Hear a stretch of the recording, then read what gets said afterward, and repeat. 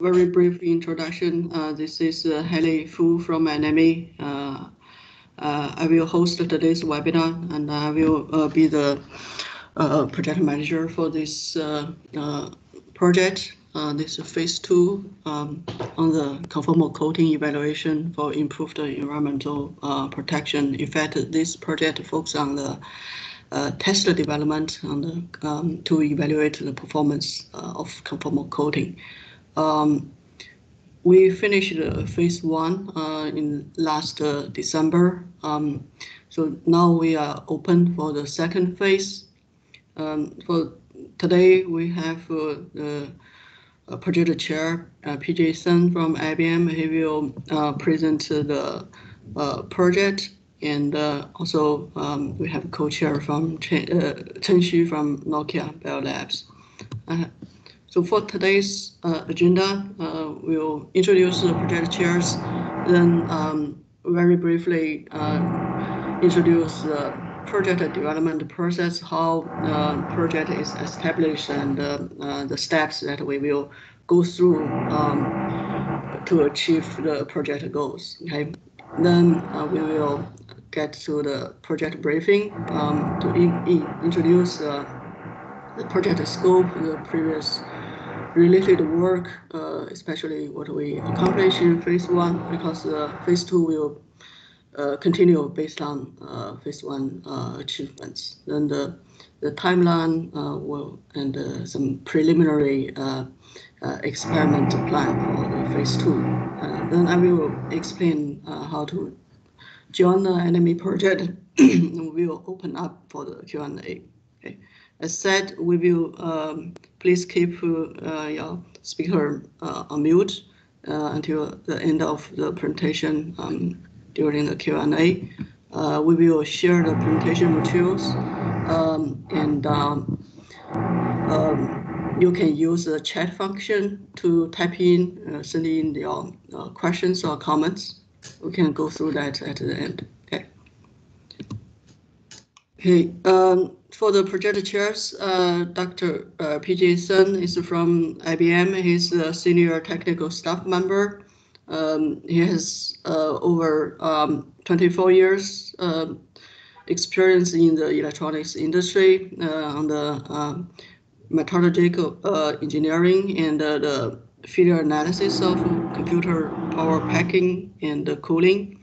Um, uh, recently, he has uh, been working on the superconductor manufacturing and characterization, and uh, seven years working on the thin film technology and the electro uh, electromigration characterization. He owns uh, 83 patents so um, he's a master inventor at IBM. Okay. Um, Dr. Uh, Chen Xu is from uh, Nokia Bell Labs. He's a distinguished member of technical staff. Uh, he has a background in education, uh, in a, for education in um, uh, chemistry, um, engineering, and um, uh, physical chemistry in Germany, and um, he owns um, over 100 publications and 15 approved or pending patents, and is uh, active in uh, um, different associations or um, uh, consortia in the um, industry. Okay.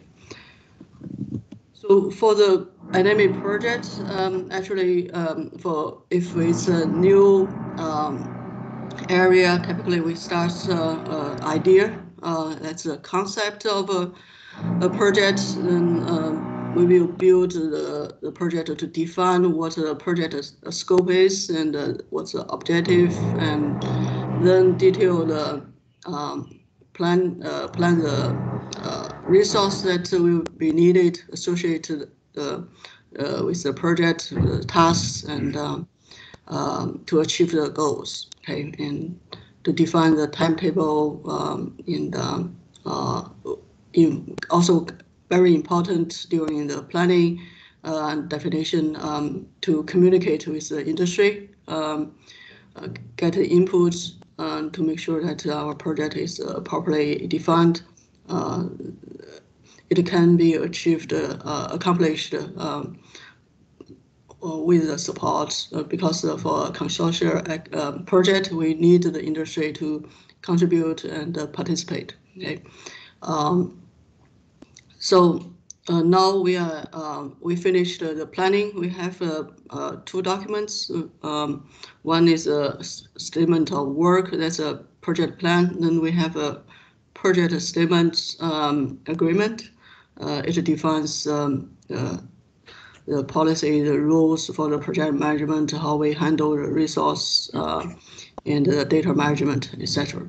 So now we are actually at the fourth step, uh, the launch. It means that we uh, open for project sign up and um, um, we communicate with uh, people who are interested in this uh, topic and invite them to join if they uh, see there is a value or you know would like to work together with uh, others in the industry. Okay.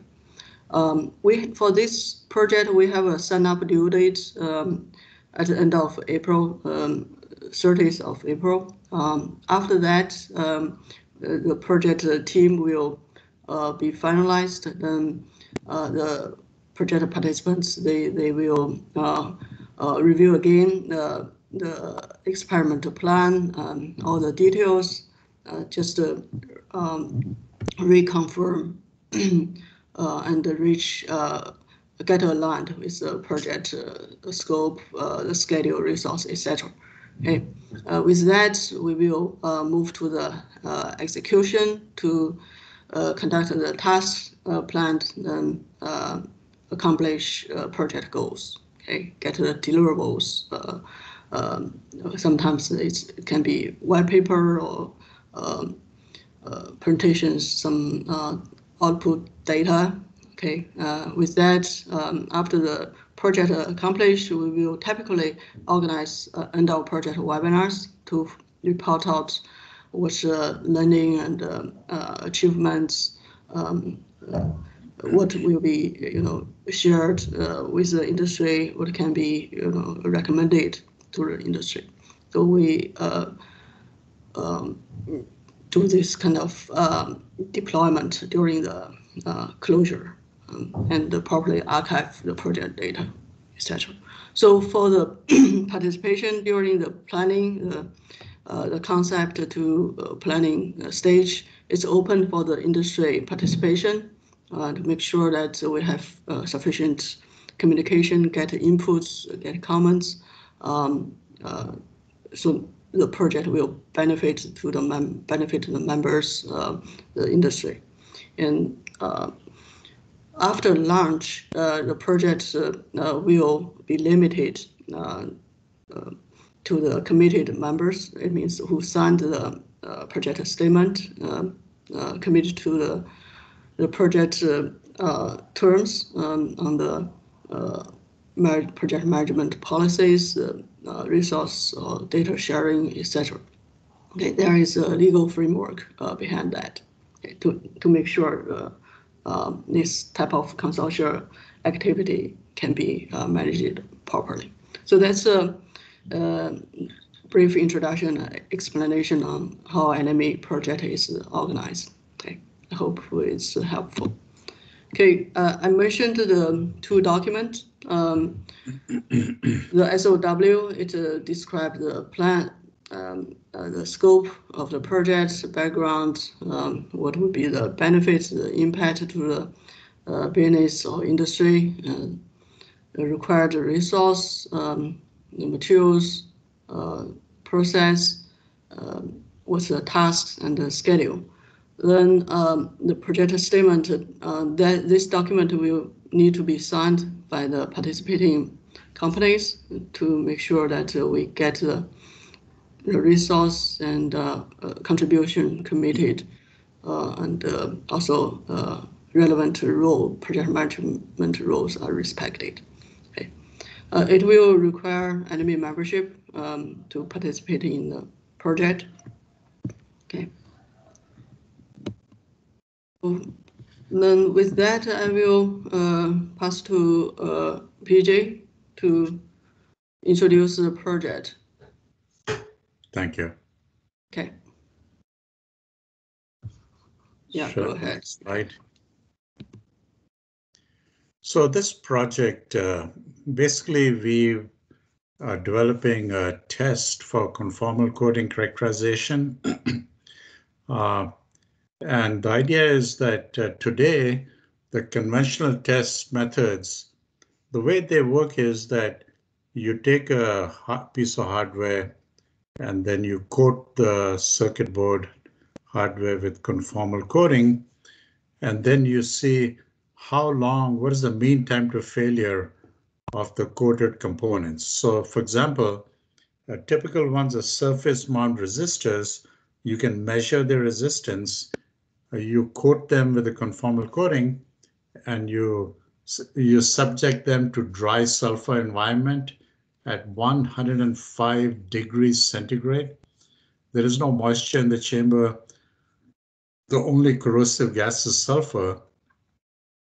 And it takes a year or more for this test to complete.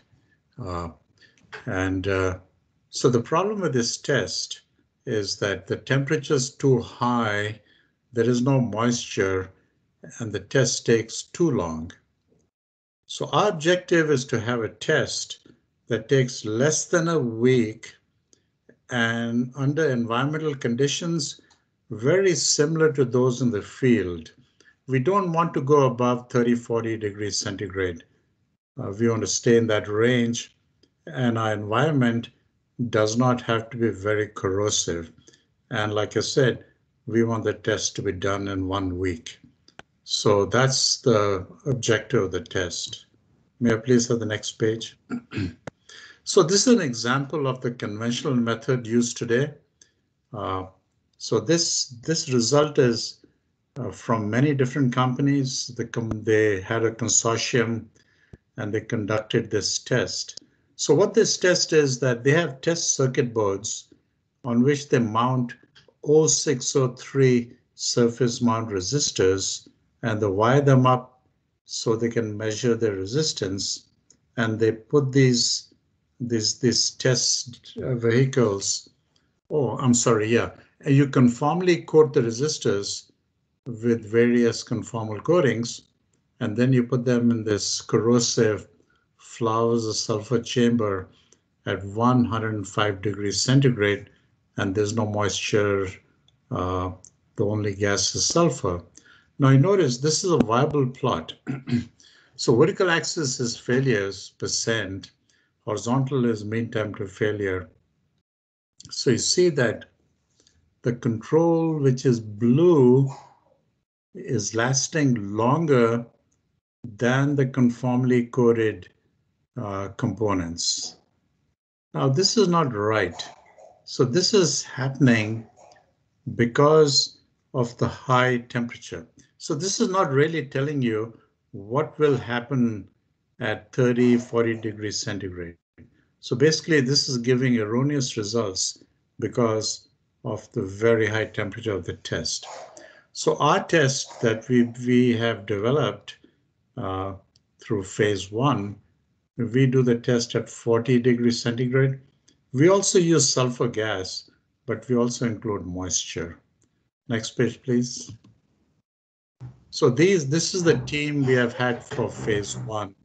We have uh, engineers and technicians from IBM, we have Nokia, Celestica, Picosun, Nissan, and of course Dynamics. Really next, okay, so this is the test vehicle. so on the right side, you see a, a test circuit board and there is a serpentine thin film. So this particular one is silver, is it's 800 nanometers thick and uh, the silver thin film is connected for a four point probe measurement. And those connectors you see on the top and the bottom, they're just so that we can connect to the outside world. Now th this structure is showing two thin films, one on top of each other, but through our uh, our work, we have realized we really don't need the bottom thin film. So we have simplified the structure now through various testing. where we only have one thin film. Whereas these pictures are showing two silicon thin films on silicon dies. Uh, anyway, so what we do is we take these 800 nanometers thick films of copper and silver, and we conformally coat them with the coating to be tested. And then we expose them to corrosive environment, which is sulfur gas at 40 degrees centigrade. So it's not too corrosive. And we can have whatever moisture, whatever percent RH one needs, we can include that in our test. Uh, we measure the corrosion rate of the coated thin films, and we use that. So, so the thin films will corrode, they'll become thinner, and the electrical resistance will increase. So by measuring the electrical resistance, we can determine the corrosion rate of the films. And we compare the corrosion rate of the coated film to the uncoated metal films. So that's how we characterize the conformal coating. If the conformal coating is perfect, then the uncoated, uh, then the coated film will have zero corrosion. And of course, the uncoated film will corrode. Next page, please. So this is just some pictures of the test setup. Uh, uh, we have in the in the middle, actually on the top, we're showing the oven, and inside that the oven is there only to control the temperature, and we have on the left side we have a laptop that is measuring the temperature of the films. On the right side, you can see a laptop which is controlling the potentiostat. So potentiostat is what we use to precisely measure the resistance of the thin films. And in the middle left and middle bottom are the, you can see the, the, the thin films all wired up. And the middle left, you can see a tray that contains a sulfur. So we have sulfur there. And we also have uh, we also have uh, saturated salt solution to control the humidity. Actually, the top right in the middle is a saturated salt solution. So you can see lumps of salt, the white salt, which is telling us solution is saturated. And the yellow on the outside, that's sulfur. That's the of sulfur. And the middle right are, one is copper thin film, one is silver thin film. And on the bottom right, we have a silver thin film to which we glue uh, thermocouple which is only uh, 2 mils, 0.002 inch thick. So it's very fine uh, thermocouple to measure the temperature of the film. Temperature is important, uh, so we do we do measure the temperature of the film. But the sulfur gas at 40 degrees centigrade will be 0.15 ppm, and 50 degrees C it'll be 30, it'll be 0.3 ppm. So we we plan to use only 40 degrees centigrade from now on. Yeah. And this particular chamber, the air was not circulated. So we're considering putting a, a rotary device in there to gently circulate the air. So we'll be doing that in our next second phase. Next page, please. So th these are the results of phase one. And this, this chart shows bare silver and copper film corrosion. So the black dots and the black lines are for, uh, uh, actually, so this chart is showing everything, but the black lines and the red lines are for, for copper and silver corrosion rates. So you can see the rates are high uh, and that's what's expected because they're not coated, they're bare. High. And, and these other dots are for uh, for for coated hardware. So so basically, so why do we have four charts? The top left is 40 degrees centigrade, 15% RH. Uh, the one to the right is 50 degrees C, 31% RH. The bottom left is 50 degrees C, 15% RH, and the bottom right is 50 degrees C, 75% RH. So we can control the RH to whatever level one wishes. And you can see over here that the RH is not making too much of a difference. There is some difference. The temperature makes most of the difference. You can see the 40 degrees C has less corrosion rate than the 50 degrees C because sulfur content is higher at 50 degrees C. So next page, please. So this, this is, uh, we are just showing one example. Here we're showing acrylic coatings. So you see how the acrylic coatings uh, are protecting the copper well. The red lines are copper. So you see the red lines are much lower than the black lines. So the black lines are silver corrosion. So for some reason, acrylic is not protecting the silver as well as the copper. So I, I forgot to mention, these charts are vertical axis is corrosion rate on a log scale. So you have to be careful. A little difference is big on the vertical axis. For example, the chart on the top left, it shows almost two orders of magnitude difference between the corrosion rate of silver and copper. Uh, and uh, again, these four charts are at 40 degrees centigrade and 50 degrees centigrade at different relative humidities. You know. So a, ch a chart like this so each chart takes about, uh, let's say if you take the top left, that, that's a five day test. So in other words, in five days, you can decide what temperature and humidity you'd like for your test. We can complete the test in five days. And notice we get results as a function of temperature, not just one temperature. Like in conventional testing, it's 105 degrees centigrade, but we can test at more reasonable temperatures. Now, you might be wondering, I have, let's say the top left is 40 degrees centigrade, 15% RH, right? so, but the axis is also temperature. So what we see is the temperature in the chamber. Horizontal axis that 1 over temperature, that temperature is the temperature of the thin film. So thin films can be heated, Uh, whereas we can keep the air at 40 degrees centigrade, but the thin films and conformal coating can be at different temperatures.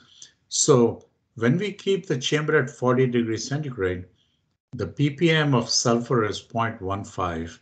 So the, the corrosive nature of the of the chamber air is fixed and we can change the temperature of the conformal coating.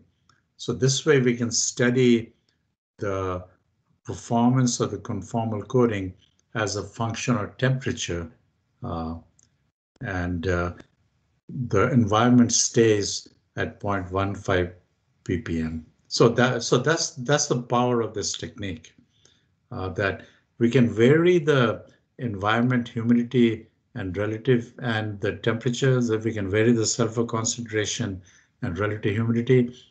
Of course, we keep it fixed during the test and we can conduct the test at different conformal coating temperatures. So, and also the, the, one reason we like to do that is from the slope of the curve, you can get an idea of what is the mechanism, what's the activation energy of the process. So from a scientific point of view, we like to know the slope of the curve. Next page, please. So these are what the uh, the samples look like uh, at the end of the test. So at the very left top is bare silver, and we can see it's growing silver sulfide needles. And that, that is expected we do have, even in components like surface mount resistors, the, the silver corrodes and forms the silver sulfide needles. On the bottom, we have silicone coating over silver and there are no needles. And those uh, black dots are porosity in the silicone conformal coating. So you can see the the the silic the silver has darkened, so silicon didn't protect the silver that well. Uh, now the next column ALD over silver. Uh, so notice that the ALD over silver, the silver is nice and shi uh, shiny. So the ALD is atomic layer deposition. So that's like a ceramic oxide coating on silver that, that gives us very good protection. And then below that is acrylic over silver. As I already mentioned, acrylic did not protect silver very well, you know. So you can see uh, the, the only coating that protected the silver was the atomic layer deposition. So on the right side, we have copper thin films. So bare copper corroded, you can see. And below that, we have silicon over copper. So silicon also did not protect copper well. So copper corroded under the silicone. But if you look in the top right, the ALD over copper gave very, very good protection to the copper. So the atomic layer deposition coating works very well. And then the bottom right, that's copper protected by acrylic, and it gave pretty decent protection. So you can see on this chart that this technique is very uh, it can differentiate between good good conformal coatings and the ones that don't perform so well. So you can see that atomic layer deposition worked very well. Acrylic was okay on copper, but not on silver. And of course, silicon we all know is bad. Silicon doesn't protect the underlying metal. You know. So this uh, technique can differentiate between conformal coatings very well. Next page, please. So in summary, I'll just read the summary. Uh, this study shows that conformal coatings can be characterized by the degree of corrosion protection provided by the coatings as measured by the rates of corrosion of the underlying copper and silver thin films. And the way we measure the co corrosion rates of the underlying thin films is by measuring their resistance. And the test is less than a week compared to a year for conventional means. And the test does a very good job differentiating between different coatings. So it can differentiate the performance of the different coatings. I think, mm, okay, so the next phase of the project is that this the flowers of sulfur chamber we have it's been we've been developing this chamber for last I think four years, five years, and it's done very well. this uh, flowers of sulfur chamber is also used for creep corrosion, and it's it's an excellent test to determine whether your circuit board will suffer creep corrosion in the field or not. So creep corrosion is where the metallization of the circuit board corrodes now that's okay, corrosion is fine, but the corrosion product decides to creep on the surface and the corrosion product is often sulfide. And the sulfide is a semiconductor, but when it has contamination, it becomes a conductor. So over the last seven, eight years, because of RoHS, restriction of hazardous materials, uh, we had to make serious changes, as you know, to the circuit board metallurgy and the and the lead-free solder. So as a result, our circuit boards became prone to creep corrosion. So we have been using this uh, iNEMI Flauser sulfur chamber to test our circuit boards to qualify them to make sure that they don't have creep corrosion in the field. So having said that, the mixed flowing gas chamber is more of an accepted industry standard. So now in this phase of the project, we would like to we would like to compare the results from the flow of the sulfur chamber to those from the mixed flowing gas chamber. Essentially, we want to prove, hopefully, that the results will be comparable and therefore you can use the iNEMI F flow sulfur chamber, which is only two, three thousand dollars compared to mixed flowing gas, which is much more expensive. Uh, but having said that, mixed flowing gas chamber is well established in the industry, uh, and a lot of companies use that to qualify their products uh, uh, in these in the mixed flowing gas corrosive environment. Now, another thing we'll do in this project is we will refine our flow sulfur chamber by uh, by circulating the air in the chamber, and we'll see if that makes a difference. Uh, uh, and then we will provide test recommendation guidelines to the industry for both the FOS chamber and the mixed flowing gas test chambers. And lastly, we would like to explore the a test vehicle that is on circuit boards. So in other words, so one of the weakness of a test is our thin films are planar, they're two-dimensional. So we would like to develop a three-dimensional test vehicle and study its test feasibility. So we, we this is uh, uh, we will explore this. So we don't know if we'll succeed or not. You know. Next page, please. So the experiments we'll do in the FOS chamber, we will keep the temperature at 40 degrees centigrade and the relative humidities will control at 15, 31 and 75. Now, these humidities we get by using saturated salt solutions.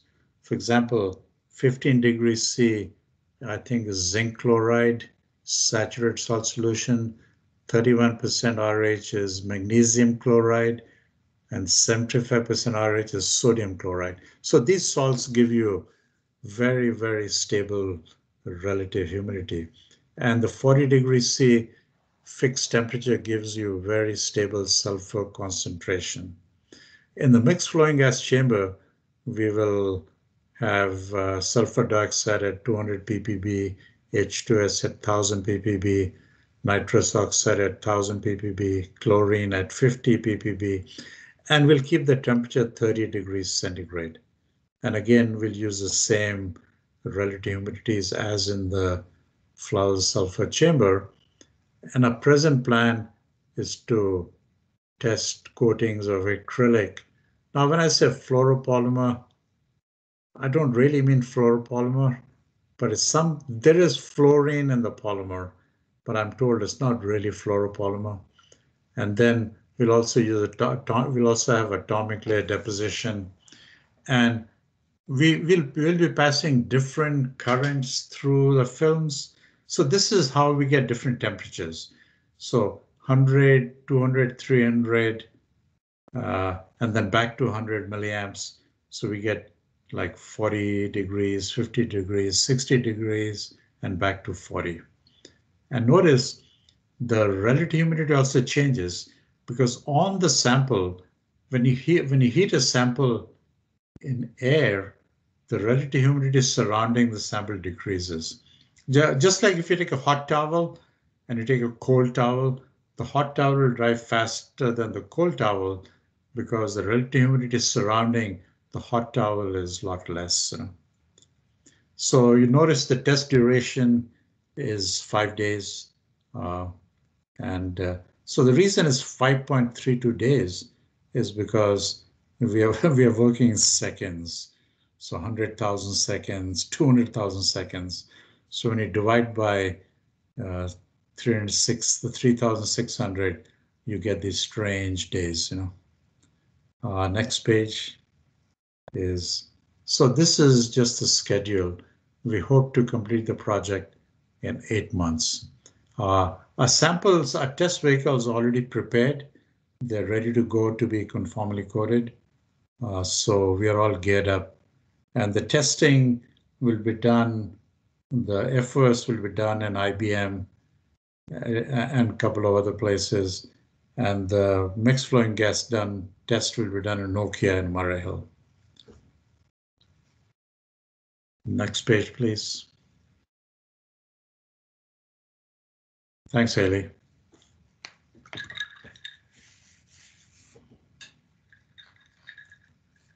Haley, you want to take over?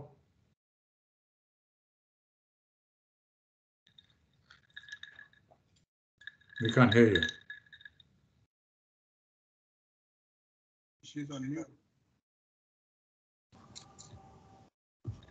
Okay, can you hear me now? Yes. Okay. Yeah, so uh, about uh, how to joining. Thank, thank you, PJ, on the introduction of the project. Um, on how to joining, uh, we have uh, sign up due dates on April 30th. Um, uh, as I mentioned, the iNEMI membership is required to join the project. Um, uh, if you are already an iNEMI member, uh, the, actually the steps is quite simple. Uh, you just download the project statement. you can review the SOW.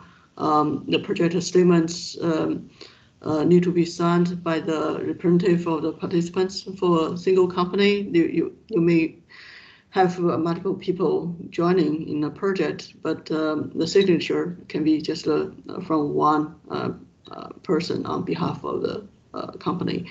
And then, there is a second signature needed from the manager um, that's approve the participation and support um, the resource or commitment to the project. Okay um, just send the scanned copy of the signed uh, project statement to, to an iNEMI. And uh, we, um, Grace O'Malley, uh, she's the Vice President for Technical and Project Operations. She, she will review and sign uh, to, for the acceptance approval uh, of the participation. Okay. Um, if you are not an iNEMI member, uh, certainly you can contact me or any um, iNEMI uh, staffs uh, uh, in the region um, to discuss about the membership. Then um, that's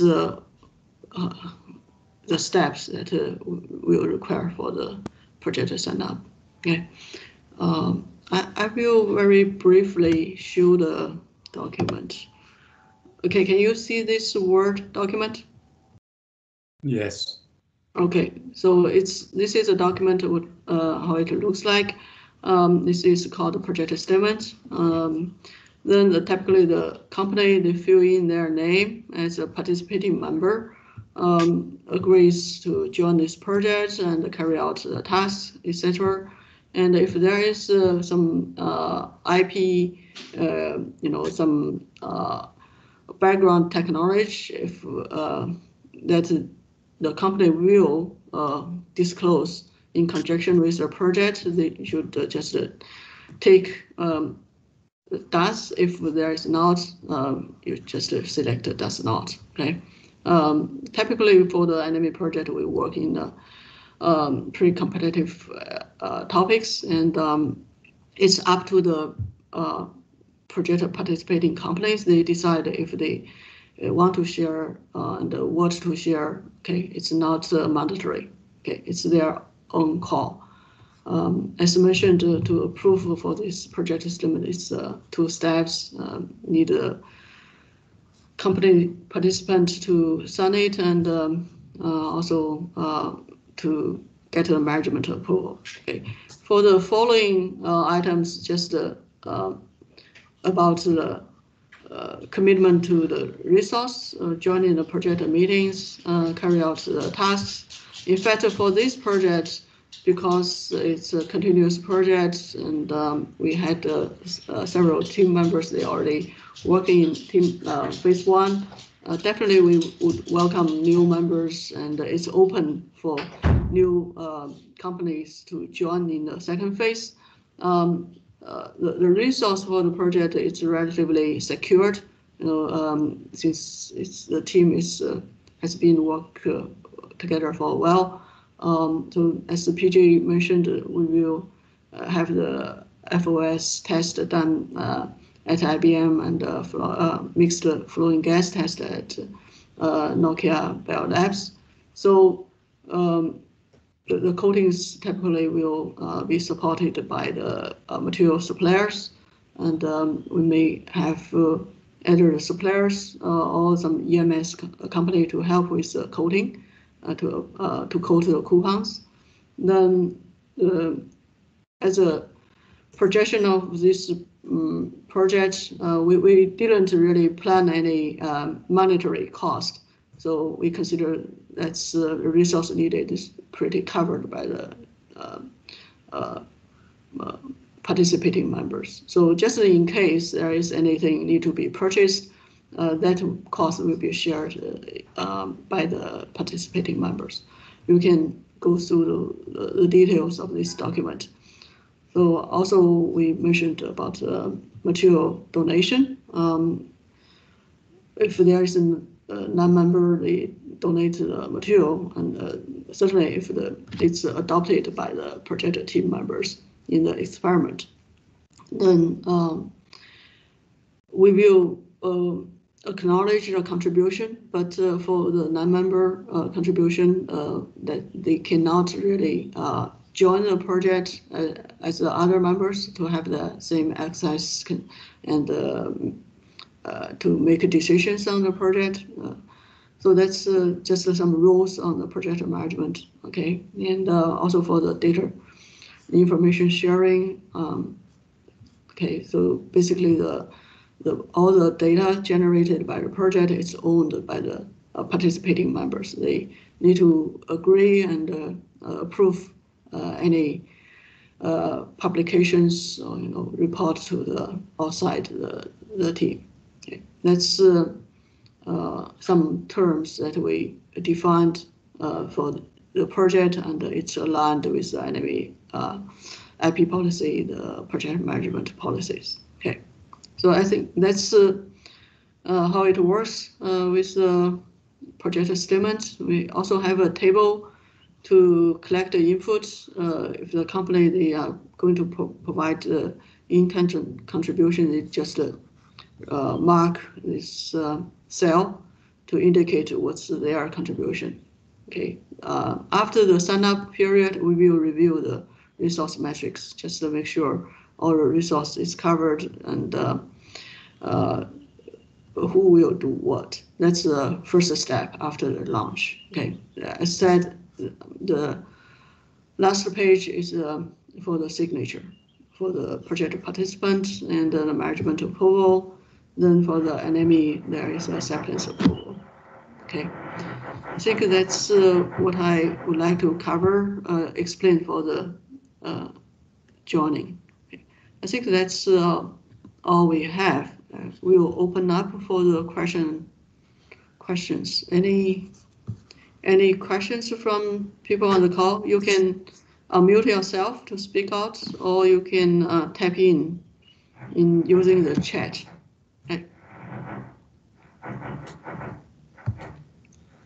Let me just check if there is any. Not from the chat. A- Any questions from the audience?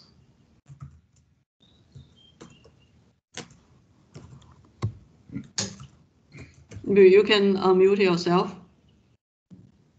One problem with the Teams is uh, the host cannot uh, unmute participants. So you have to unmute yourself if you speak.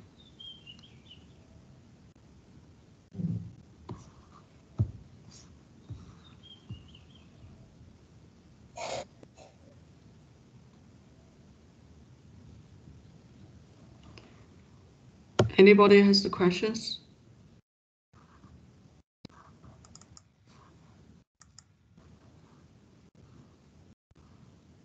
Oh, or even suggestions to the project?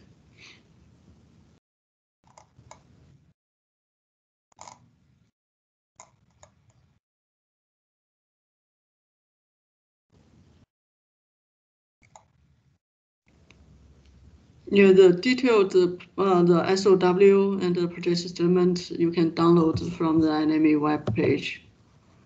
Uh,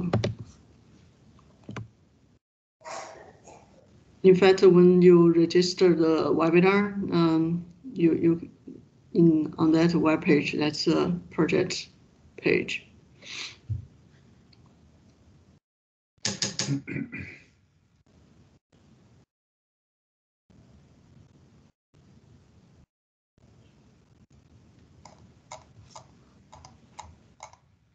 Are there any questions? Maybe the last call for questions.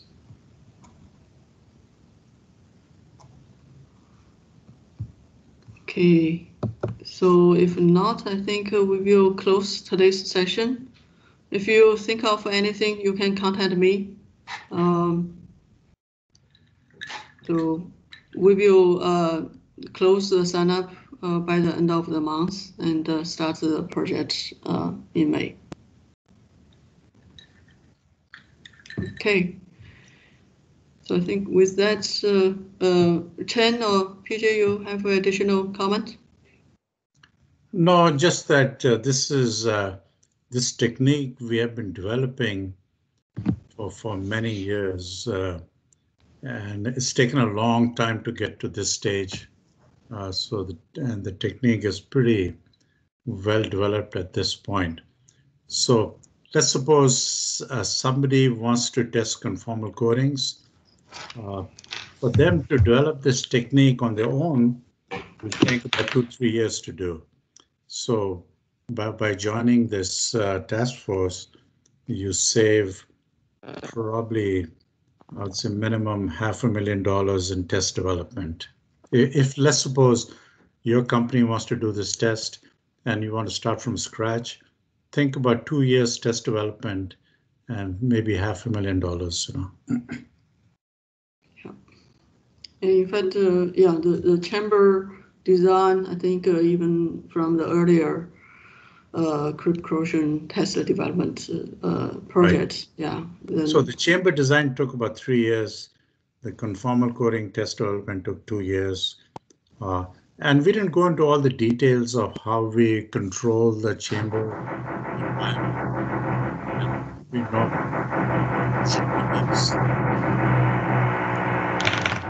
So there, there, there, there are a lot more details we have not covered in this meeting. Right, yeah.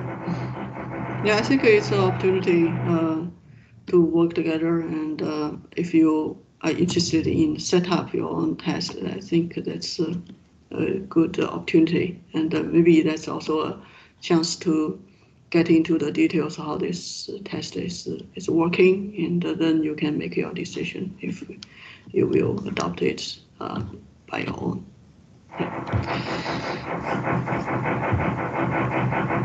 Okay, I think uh, with that, uh, we will close today's session. Um, Thank you for joining and thank you, PJ. Thank you. Thank you. Chen. Yeah, have a nice day. Nice evening. Bye-bye.